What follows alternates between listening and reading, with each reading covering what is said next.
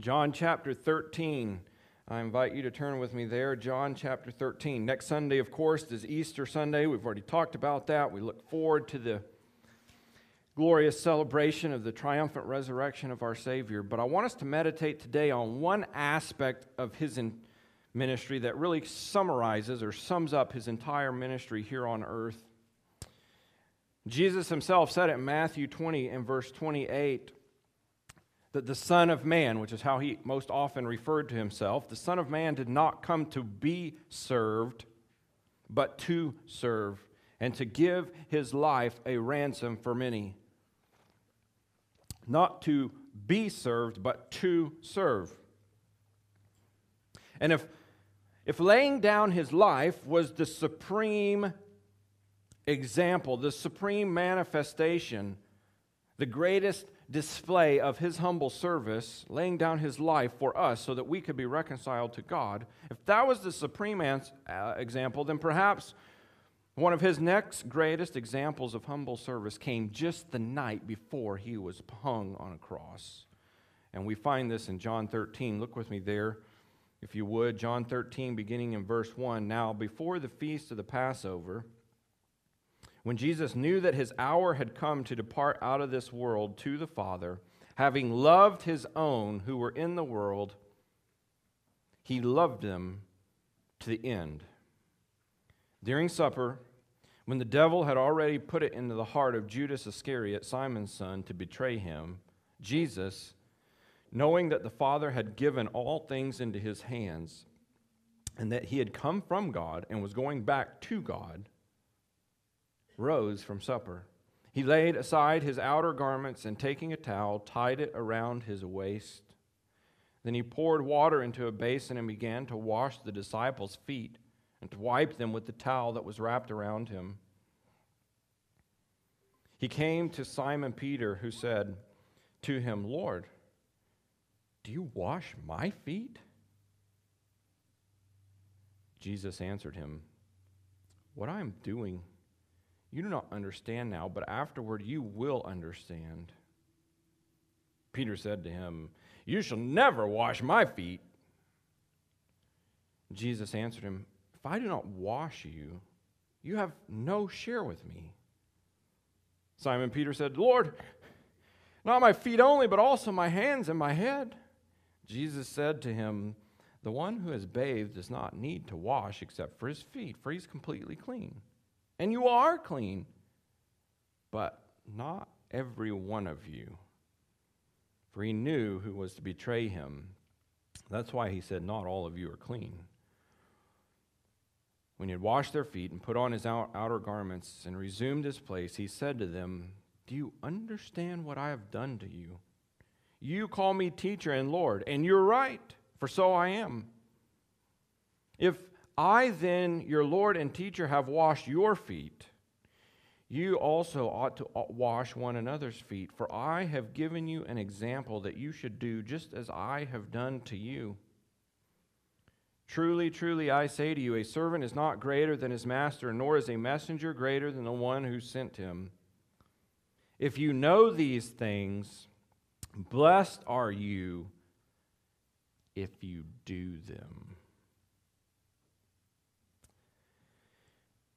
I've entitled this message today, How Dirty is Your Towel? We live in a society, a culture that is bombarded with marketing and advertising that screams, You need this. You deserve this. This will make you happy, and you have a right to be happy. You should have whatever it ha- takes to make you happy. And by the way, you can have it for two easy payments of 1995. Marketing and advertising directs your focus towards you, towards your felt needs, your comforts, your pleasures. But our text today shows that Christ came to direct our focus towards others and their needs. I want you to notice, first of all, that serving is grounded in what I know to be true. Look right at the very beginning there. What does it say about Jesus when Jesus knew that his hour had come to depart out of this world. He knew. What are the things he knew? He knew that his time or his hour had come. We see throughout the gospel accounts as the Pharisees, the scribes, and others that hated Jesus and were constantly trying to oppose him and do him in, do harm to him, and ultimately kill him. That was their agenda for a while. And throughout all their attempts, it kept saying, we kept seeing this phrase occur his hour had not yet come. His hour had not yet come. His time had not yet come. But now Jesus knows that his hour has come. What did he know? That his hour had come? He knew that the reason for which he had come to this earth was now at hand, and he would soon be returning to his Father. He had loved his disciples, it says. He loved them to the end. In other words, to their fullest extent. And he wasn't going to stop loving them now. His love for them had no limits. We sang it earlier about the deep, deep love of Jesus. His love will never end. His love for his disciples had no limits as the next 24 hours was going to unfold and show. What else did he know? He knew the treachery that Satan had already implanted in the heart of Judas, verse 2, to betray him. He also knew and was fully aware of his divine authority. He knew of his divine origin, not in the sense of his beginning, but in the sense of where he came from. He had come from his Father, from heaven. And he knew where he was going. He knew everything that was about to unfold in the next 12 to 24 hours. It was not as though Jesus was an innocent victim he, he was innocent to be sure, he had not sinned, but he was not an innocent victim and, and caught up in some plot of reprehensible and unjust cruelty of which he had no idea about and just uh, uh, found himself in. No. This was the Father's plan from eternity past, and the Son knew it and was in full submission to it. He knew it full well. This knowledge of what was going to unfold in the next in the coming hours did not deter him from his incredible act of service of dying in our place on the cross. No, this knowledge of all these things did not keep him from it, rather, it fueled him to it. This was the basis for which he served so humbly. Because you see, he knew that this was the only way that you and I and others could be made right with God was through his atoning sacrifice on the cross the next day.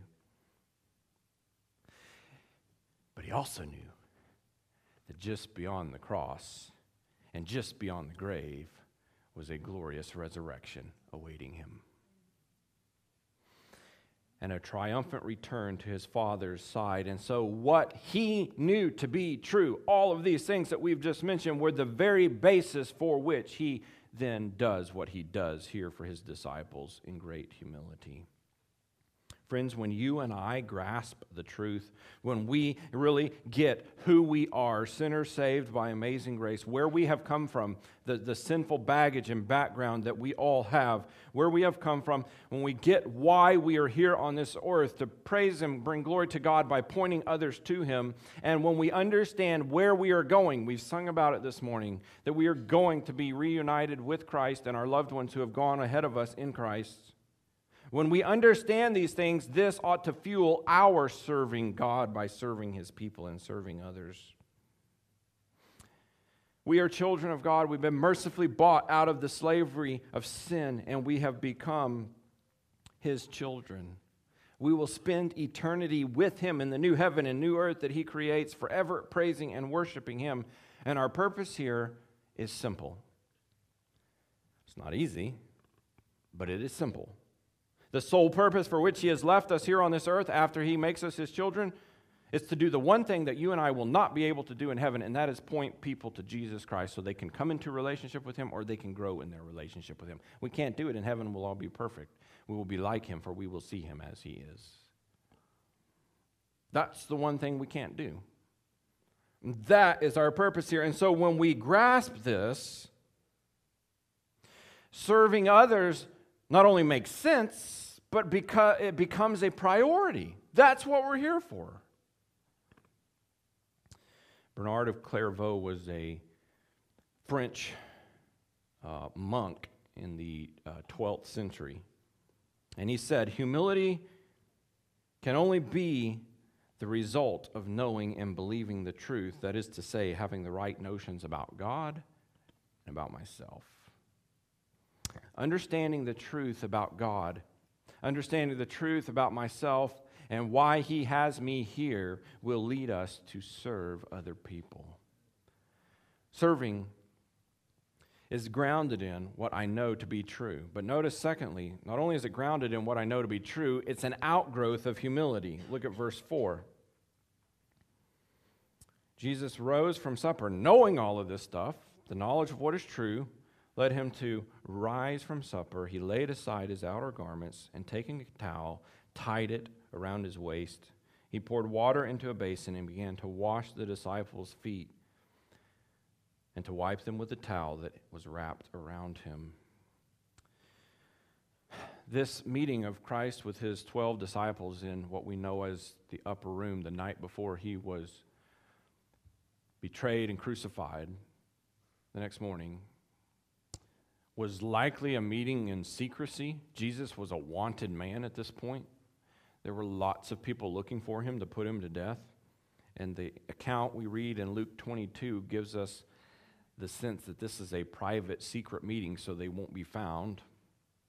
Thus, the room is a deserted room. It was prepared. It was prepared for them, but there was nobody there prior to their coming. So there was no household servant or slave there who would do the customary task of when you had guests come into your house, they would remove their sandals and, and the, the servant would wash their feet. That was normal, that was a normal custom because they had dusty streets.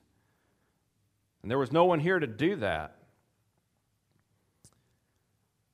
It was standard procedure and proper etiquette to wash your guests' feet before you shared a meal together. So, in the absence of a uh, household servant or slave, the disciples, any one of them, should have jumped in and said, Hey, I'll wash everyone's feet, since there was no one there to do that. But, but what's interesting also in Luke's account, Luke 22, what have the disciples just been talking about on their way in? They've been talking about which one of them is the greatest. Who would be the greatest in the kingdom, in Christ's kingdom? Not really the kind of discussion you want to have to, to put you in the mood to then bend down and wash everybody else's feet because to do so would suggest that you're inferior to them, and, and you've just been arguing that you're going to be the greatest. What I find very interesting as I studied this,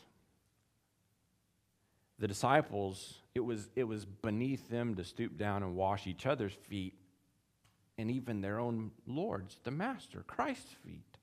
That was beneath them. No one was willing to do it. And yet, do you remember the words three years earlier at the beginning of his ministry when John the Baptist was out preaching in the wilderness and baptizing, and Christ came.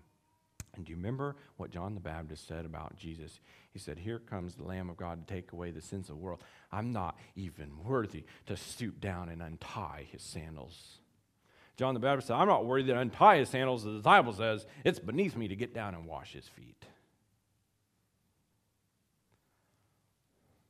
Since none of the twelve would do it, and in order to provide the 12 and to provide the rest of us another tremendous example of humble servitude, Jesus Christ, creator of the universe, master of all, does the unthinkable.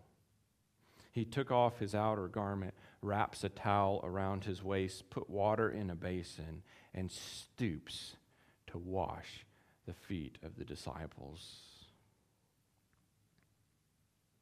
This would have looked like the household slave. That the average Jew would have looked down upon. And yet, it was Christ. Why could he do it? Because he had no image to protect. The guys were protecting their image. I'm going to be one of the greatest. Jesus had no image to protect. He wasn't concerned about what the others in the room thought about him, like they were at that point. He had no ulterior motive. Hey, guys, I'm going to need all of you to, uh, to fight with me here pretty soon, so I'm going to get down and wash your feet, your feet and ingratiate you to, to me. He wasn't hoping to get their unfailing allegiance and washing their feet, because, in fact, in the very next few hours, one of those guys whose feet he was washing would betray him, one of those guys whose feet he was washing would deny him, and the rest of them would all desert him.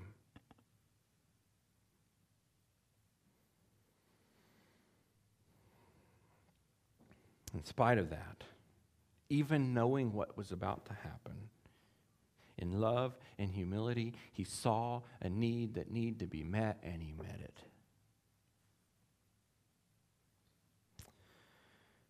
Humility is willing to put others' comforts and others' needs ahead of my own. Well, I'd a lot rather be doing this this afternoon, but, but you can serve down here. Or you can go visit somebody, or you can go do something for somebody. But, but, but you don't understand. You don't know what I got. Humility is willing to put others' comforts and needs ahead of my own. Humility resists the urge to build myself up, to make myself comfortable, to make my name great, and instead seeks to build up other people. Humility seeks to direct people to Christ by serving them rather than insisting that they serve me. Serving is the natural response of a truly humble heart. Serving is an outgrowth of humility. And Christ is our supreme example. But notice also, serving is often misunderstood. Verse 6 He came to Simon Peter. He said, Lord, do you wash my feet? And Jesus answered him, What I'm doing, you don't understand now, but afterward you will understand. Peter said to him, You shall never wash my feet.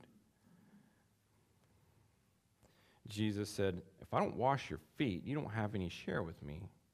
Simon Peter said, Lord, not, not my feet only, but all my, also my hands and my head. And Jesus said to him, The one who is bathed doesn't need to wash except for his feet, but is completely clean.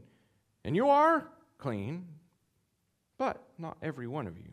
For he knew who was to betray him. That's why he said, Not all of you are clean.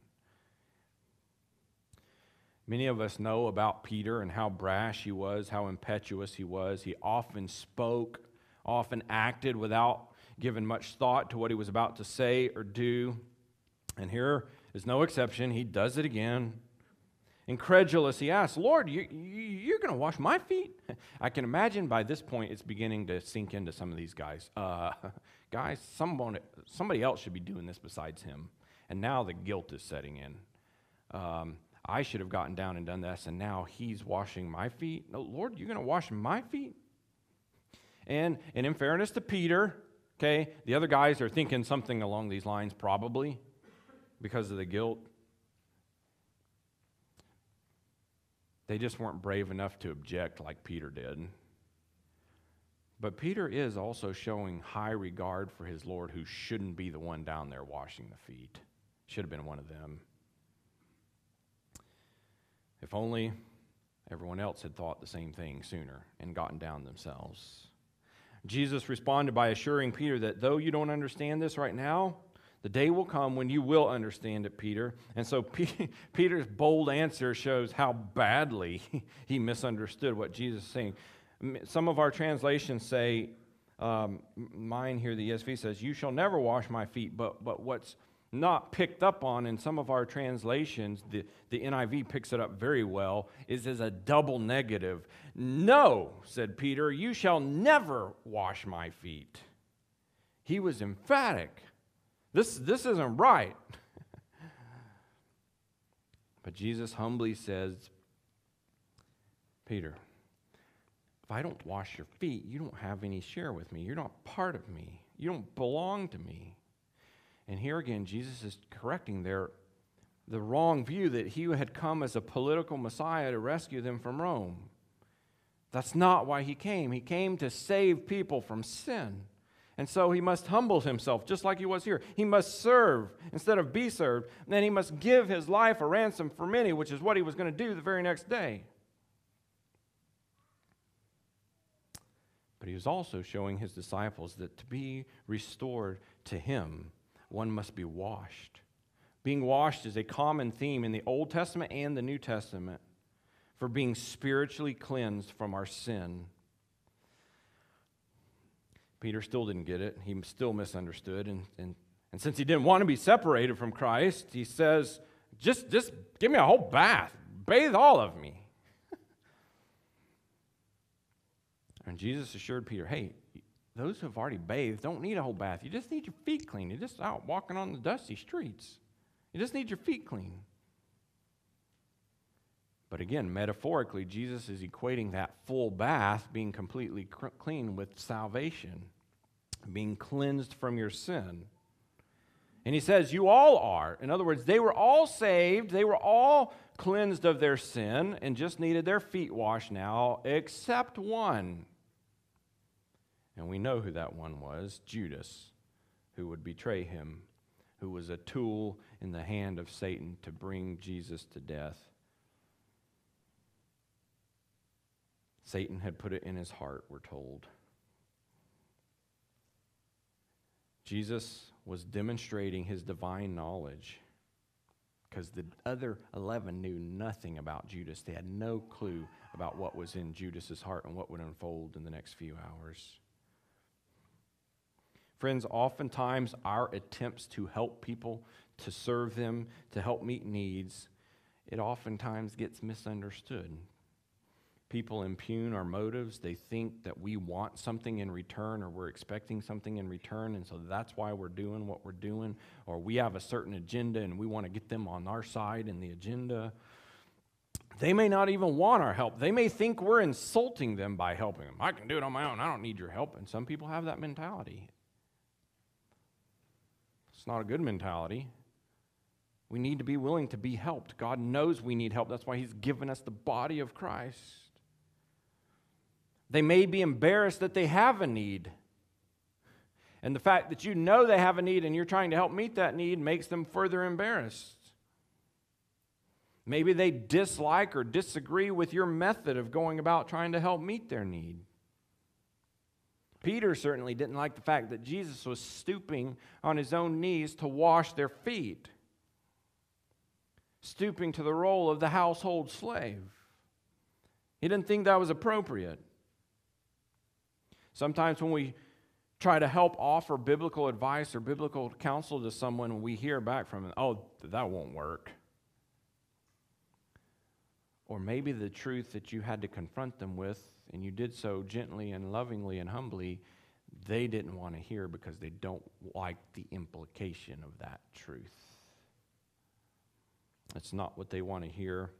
Sometimes people are hurting so badly, they're so desperate that they resist those that are genuinely seeking to offer them truth. Those who are genuinely trying to help them. If you've ever seen or talked to, or maybe been yourself a lifeguard, and they go in to rescue someone who's drowning, and the person who's drowning is trying to get out and keep their head above water, and they, they often do more harm than good because they're working against the lifeguard rather than letting the lifeguard rescue them. And the lifeguards have to try to calm them down quickly so they can get a hold of them and help them in the way they need to be helped. Friends, we must, like Jesus, yes, we try to explain, but we realize we, in our attempts to help and serve people to meet their needs, sometimes they may not understand it for a while, just like Peter didn't understand it. But just because we might be misunderstood must not keep us from serving those in need and those whom God has put us in their path to meet that need. So then let's notice last serving is modeling Christ likeness. Look at verse 12.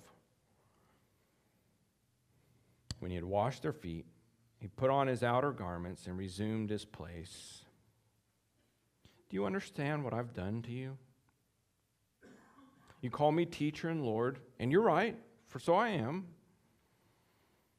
If I, then, your Lord and teacher, have washed your feet, you also ought to wash, wash one another's feet. For I have given you an example that you should do just as I have done to you.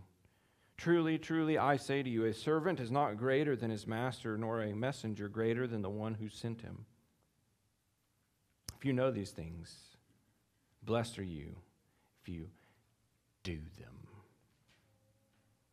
See, what Jesus has done here is he has demonstrated that true greatness in his kingdom, which is the kingdom that matters,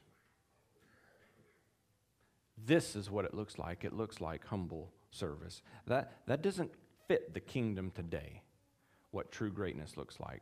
True greatness today is about making a name for yourself, blasting other people so that you can be made to look higher and thought well of by other people and getting people to praise you. It is rampant in our society.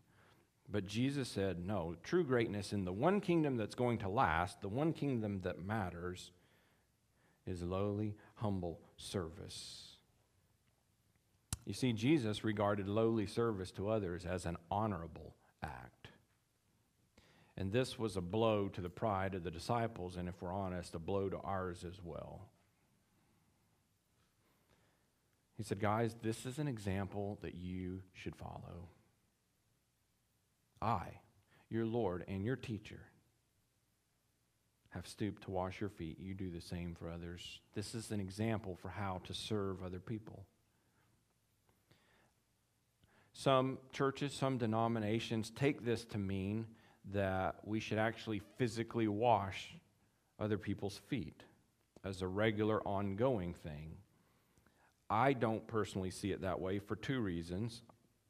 I won't stop them from do it or argue with them do it. Here's why I don't. Number one, I think Jesus was demonstrating their need of regular cleansing by Him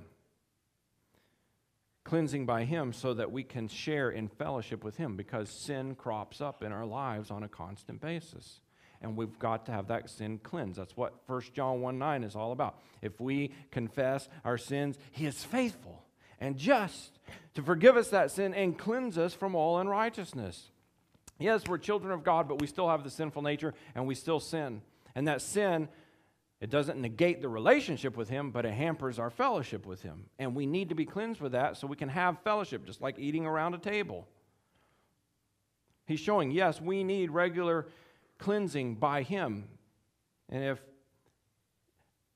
it gets to washing somebody else's feet, then the cleansing comes from somebody else rather than from Christ. I'm not saying there's never a time to wash somebody else. If they're in, unable to do it and you can serve them in that way, great. I just don't think it needs to be a ritual or routine in a church setting, hopefully they washed them at least within the week before they came, right? It's not a, it's not a practical need they had. We, we wear shoes. We don't walk on dusty streets to get here. That was a practical, and that's the second thing. Jesus was meeting a practical need in that culture. That's not a need you and I have in our culture today. The overarching lesson was an example of humble service to one another. His focus was not on the foot washing per se, but it was the attitude of humility that sees a need that no one is meeting, and I'm willing to meet that need. So let us remember we cannot stoop too low. No one is so low that we cannot or should not serve them. That's the lesson here. I mean, think of the people whose feet he washed a denier, a betrayer, and 10 deserters. Not one of them was going to stand with him that night.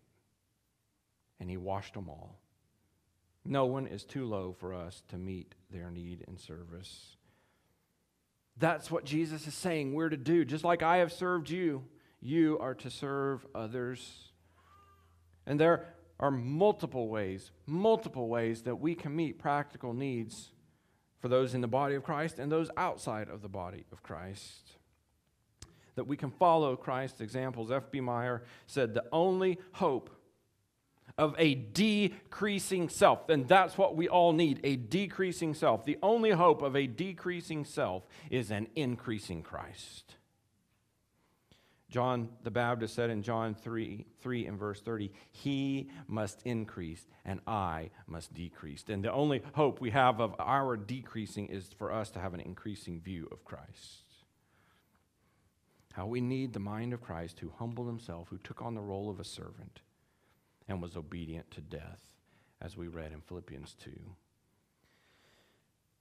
And then Jesus says, If you know these things,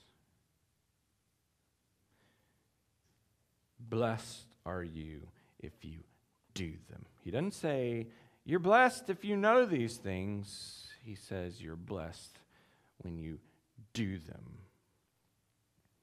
And D.A. Carson said, Knowing without doing finds no sanctions anywhere in the teachings of Jesus. Friends, it's not enough to know. In fact, knowledge puffs up, Paul writes in 1 Corinthians. Knowing a lot of biblical facts just makes us proud. It's the doing where the rubber meets the road.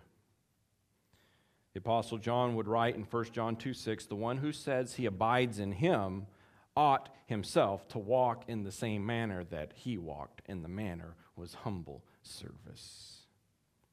When we stoop to serve, we are walking the way Christ walked. We are pointing people to him, and we are identifying ourselves as his disciples. But let me be quick to say the opposite is also true when we refuse to serve, when serving is not our pattern when that's not what we are known for as a regular pattern of serving others and serving Christ, we are identifying ourselves that we do not belong to Him. Perhaps you've heard the uh, expression, the saying, He who dies with the most toys wins. You've heard that? Common thing in our society today. Get everything you deserve Whatever makes you happy, he who dies with the most toys wins. I'd like to adapt it, and this isn't original with me either. He who dies with the dirtiest towel wins.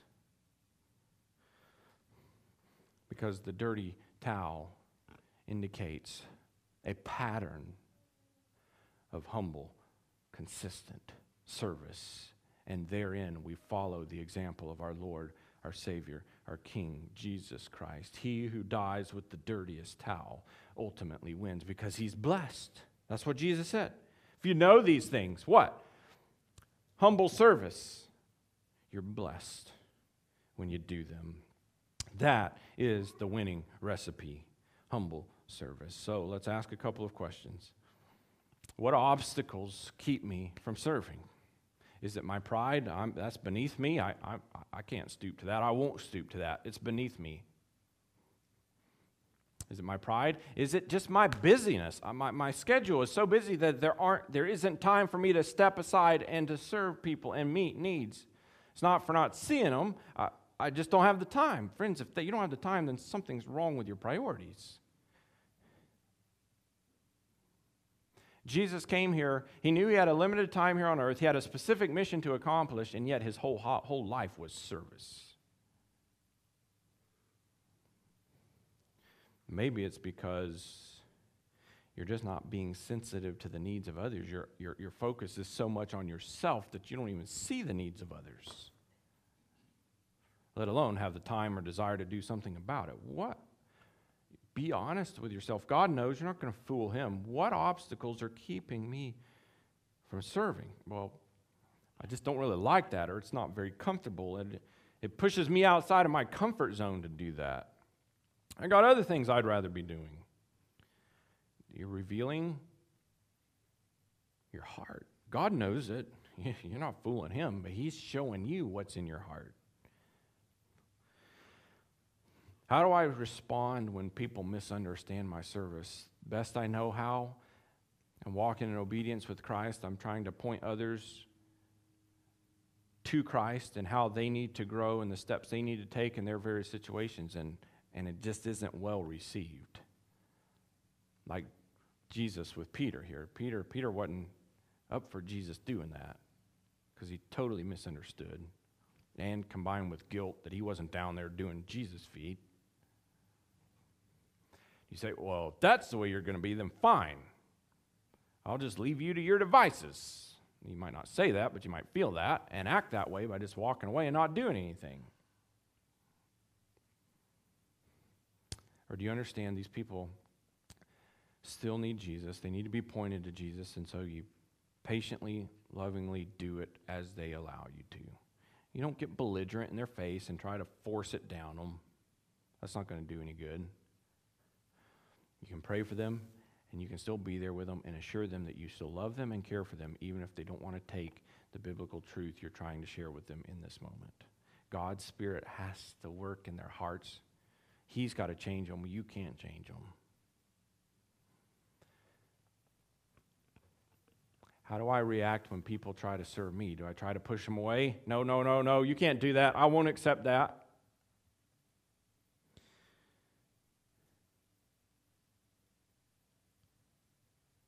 Friends, we all need help.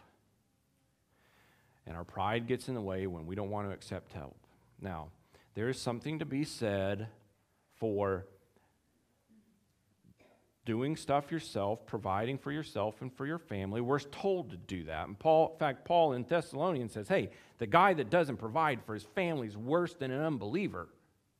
Okay, he doesn't mince words. We should be working and doing things to provide. We shouldn't be doing nothing and expect everybody to do everything for us. That's one wrong extreme. But the other wrong extreme is I ain't going to take nothing from nobody. I can do it myself. And if we're not careful, we can be there. Jesus served, but he also allowed people to serve him Mary and Martha, just to name a few. He didn't push them away, say, No, no, I'm not going to accept that. He gratefully allowed people to serve him. How do you react when people try to serve you? I read this a while back. A pastor from Pittsburgh relayed a conversation he had with a member of his church who said, You preachers talk a lot about do unto others, but when you right, get right down to it, it comes down to basin theology. Pastor said, ba- Basin theology? What's that? And the church remember replied, Remember when Pilate, when he had the chance to acquit Jesus, you remember what he did? He called for a basin of water and washed his hands of the whole thing. I'm not having any more to do with it. I'm innocent. I don't have anything to do with this man.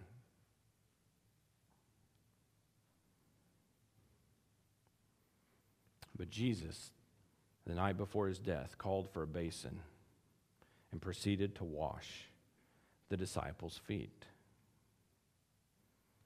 It comes down to basin theology. Which one will you use? Let's pray together.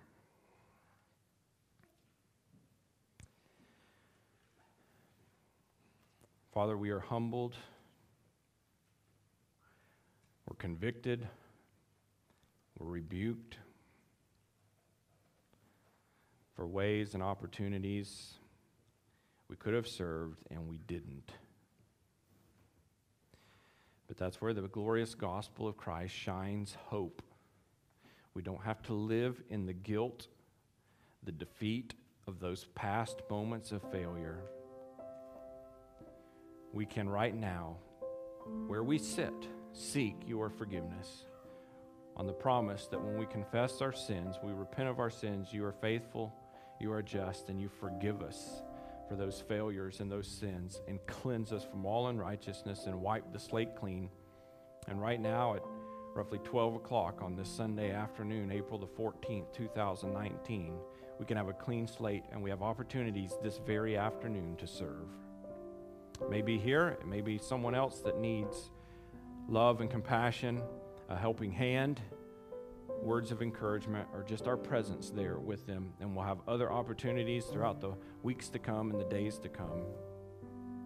May we not use the basin like Pilate did to absolve ourselves, looking out for our own interests.